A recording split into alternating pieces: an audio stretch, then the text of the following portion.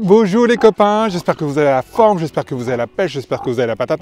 Moi je suis comme ça, comme ça, comme ça à l'idée de vous retrouver aujourd'hui pour une nouvelle vidéo. Alors aujourd'hui ça va être une vidéo un peu, beaucoup, passionnément, à la folie, exceptionnelle.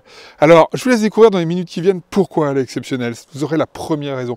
Et la deuxième raison c'est une rencontre absolument énorme que je vous laisse découvrir en toute fin du vidéo. Alors regardez bien jusqu'au bout, lâchez-moi le petit pouce bleu, laissez vos questions dans les commentaires parce que je pense que cette vidéo-là, elle doit vous poser quelques questions, quelques interrogations et je suis sûr que vous aurez envie de m'interroger sur le sujet.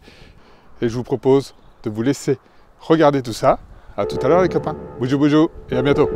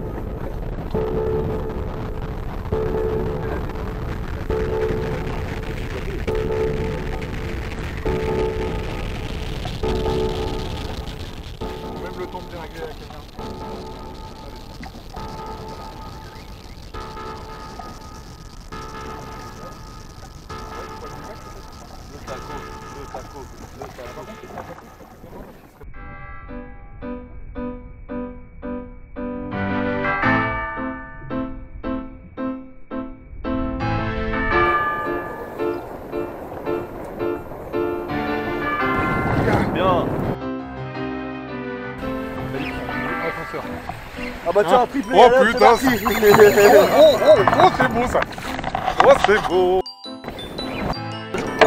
C'est comme ça, je peux y arriver. Là, je pense que celui que j'ai mon père. Ah, je la connais cette carte. Bouge comme ça, c'est qu'elle est, est les deux, hein.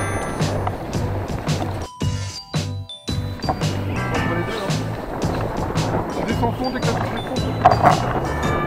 Bon, attends, moi juste un petit coup d'accélérateur, mais c'est euh, l'histoire de 3 tours manivelle. Bien quand mal au bras. C'est bon.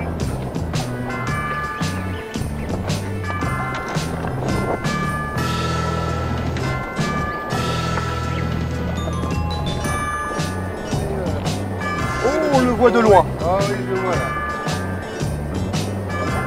Et il est pas, mais, il est pas, il est pas vilain. Il est Il est pas vilain. je dirais. Je dirais qu'il est pas vilain. Yeah, papa Yes. Ça, ça, fait plaisir. Et avec quelle leurre Fire Hill. Alors ça, c'est ce qu'aurait dû être cette sortie-là. Mais du tout, du tout. Ça n'a pas été ça. Je vous laisse découvrir la galère.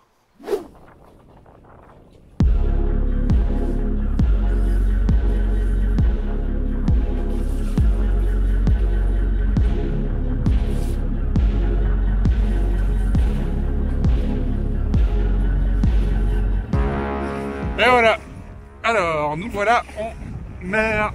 Donc on voit plus rien du tout, du tout, du tout. Vous voyez plus la côte, bah, c'est normal. On est à peu près à 50-60 km en plus, dans la brume, et en plus, voilà, comme l'année dernière, à peu près la même date, je viens de faire couler ma caméra au fond de l'eau. Donc euh, voilà, donc on va voir ce qu'on va pouvoir faire en termes de vidéo. En tout cas, on est à la recherche du lieu, on est sur 40 mètres de fond. On a une belle petite épave qui est en dessous, donc euh, voilà, on vient de faire la première dérive. Maintenant que je sais comment on dérive, on va pouvoir escaler, monter les leurs et attaquer.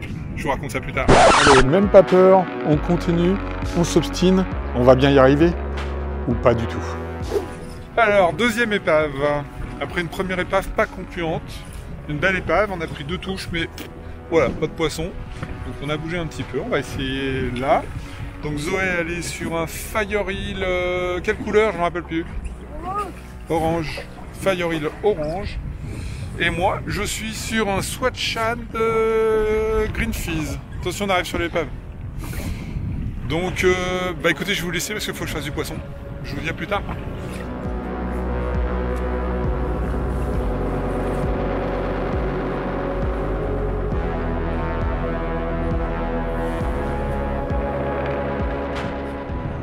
Petite épave. Alors la problématique du jour, c'est qu'on est sur un gros coef. Et vous voyez que là, on a une dérive. Donc sur 50 mètres, on a une dérive de, allez, de, de 6, de 7, 9. Forcément, c'est un petit peu rapide et ça nous pénalise quand même pas mal pour la pêche. Pas trop détails sur cette épave-là. On va vite passer sur la suivante pour enfin trouver le poisson. Donc comment dire euh, Là on a un peu la honte. Là-bas au fond, là vous voyez, il y a le bateau euh, avec euh, Romain et ses copains. Ils nous ont mis 10 lieux contre un taco pour Zoé, 0 pour le là et 0 pour l'autre là. Mais on va changer des pailles on va se. Voilà, j'espère. C'est pas gagné. Moi, je ne supporte pas de pas comprendre. Je ne supporte pas quand un bateau qui m'accompagne fait une douzaine de lieues alors que nous, nous tapons rien, rien, rien, sauf un taco. Alors je vous propose qu'on aille dans mon studio et qu'ensemble, on débriefe le petit détail qui a fait toute la différence ce jour-là. Et voilà, petit débrief ensemble du détail qui tue. Le détail qui tue, c'est quoi? C'est ma canne. Et ouais, ça peut vous paraître tout bête, mais c'est le seul élément que j'ai analysé et qui m'explique ce fiasco. Ma canne, j'ai pensé qu'on allait tomber sur des gros lieux, donc je suis passé de ma canne habituelle, qui est une canne plutôt night, un, un Barank 706 en 1040, et là je suis passé sur ma grosse canne euh, en 2080. 2080 veut dire moulinet 5000. Moulinet 5000 veut dire une grosse tresse. Une tresse, euh, le PE doit être, j'ai un trou de mémoire, mais je sais plus si c'est un PE 1.5 ou un PE 1.6. Donc une tresse assez épaisse. Et ce jour-là, qu'est-ce qu'il s'est passé Nous étions sur un gros coef. Eh oui, coefficient de 110, et qui dit coefficient de 110 veut dire du courant très très fort. Nous étions à plus de 3 nœuds par moment sur cette, euh, sur cette sortie. Et quand vous êtes sur une grosse tresse, eh bien, qui a beaucoup de courant, qu'est-ce qui se passe? Eh bien, la tresse, elle fait une boucle comme ça. Alors, le premier réflexe, parce qu'il faut bien aller jusqu'au fond, les lieux ils sont au fond, c'est de plomber, voire même de surplomber, ce qui a été mon cas. Et malgré ça, je n'ai pas réussi à vraiment descendre dans la dernière couche d'eau à raser l'épave. Alors vous allez me dire, pourquoi raser l'épave? C'est quoi l'utilité? Eh bien c'est simple. Gros coefficient veut dire aussi que les poissons ils se protègent du courant. Sinon, toute la journée, ils sont obligés de lutter face au courant, dépenser de l'énergie, et ça, le poisson, il n'aime pas. Alors, le poisson, il se met dans l'épave, au ras de l'épave, il surveille tout ce qui se passe juste au-dessus, dans le courant, et il sort juste pour prendre du poisson. Alors, quand j'ai discuté avec mon poteau Romain, qui lui a fait cette douzaine de lieux, eh ben, ils ont été tapés dans l'épave, ils ont été rasés l'épave, ils ont même, et c'est ça le vrai indice, ils ont perdu 5-6 leurres cassés dans l'épave, alors que moi j'ai perdu un seul leurre. Ce qui veut dire que eux étaient vraiment rasants sur l'épave, les lieux surveillent, voient le leurre passer, le prennent, essayent de redescendre, et c'est là qu'il faut trouver le bon compromis. Et le bon compromis ce jour-là, c'était de pêcher encore plus light, malgré le courant, que d'habitude. Ce qui offre des contraintes en effet parce que le lieu peut redescendre dans l'épave, mais au moins vous le touchez, alors que si vous êtes un petit peu plus haut dans la couche d'eau, il ne fera pas l'effort d'aller chercher le poisson, le souple, qui passe à quelques mètres au-dessus de, l'épave. Vous voyez, parfois la pêche, c'est un petit détail, le détail qui tue, et ce jour-là, c'est le détail qui nous a tué. Alors c'était une belle journée, on était en mer, on était un peu dans la brume, mais il peu bon, on était avec des copains, on a mis la musique, voilà, c'était sympa, mais on n'a pas fait une belle pêche à cause d'un détail, une canne trop grosse qui entraîne toute la chaîne et qui nous a fait rater cette pêche. Donc plus jamais ça. Alors on aurait pu qualifier cette sortie de complètement pourrie. Et non, ce ne fut pas le cas grâce à une magnifique rencontre que je vous laisse découvrir en images dans les minutes qui viennent.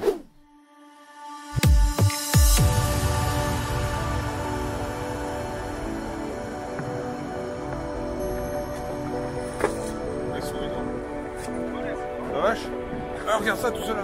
il y en a plein là.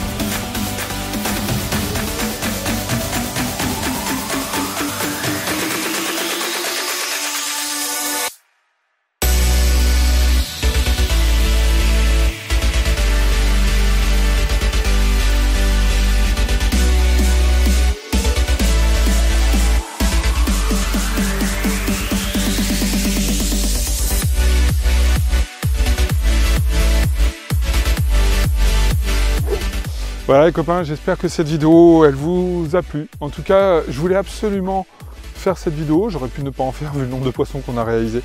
Mais je pense que moi, j'ai énormément appris sur cette sortie et que franchement, on ne me reprendra plus à ce type d'erreur. Je suis maintenant impatient d'être arrivé à la prochaine sortie parce que le bar va commencer à arriver, ce qui ne nous empêchera pas d'aller faire quelques lieux dans les jours et dans les semaines qui viennent. Et surtout les copains, je vous dis à lundi prochain pour une prochaine vidéo. N'oubliez pas de vous abonner et d'activer la petite cloche pour recevoir toutes les notifs et ne rien louper. Bonjour, les copains et à très bientôt. Ciao et à très bientôt.